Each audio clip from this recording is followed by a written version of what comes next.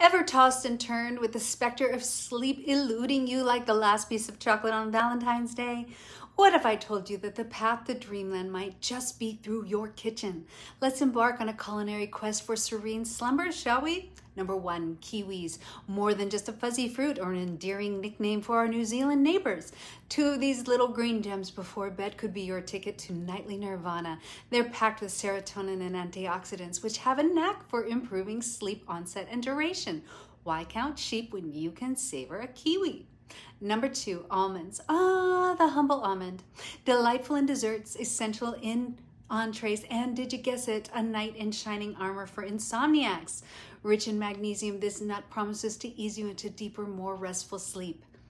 Almonds whisper, let us be your lullaby. Number three, chamomile tea. Timeless, tranquil, and absolutely tantalizing for earning those Z's. Chamomile has apigenin, an antioxidant that binds to receptors in your brain, gently nudging you into slumber. Why brew drama when you can brew dreams? Now, before you saunter off to orchestrate your edible encore to embrace the ethereal, remember there's some to something to glean on healthy living and intuitive eating. Follow at my.anew.insight and take deprogram diet culture at anew-insight.com.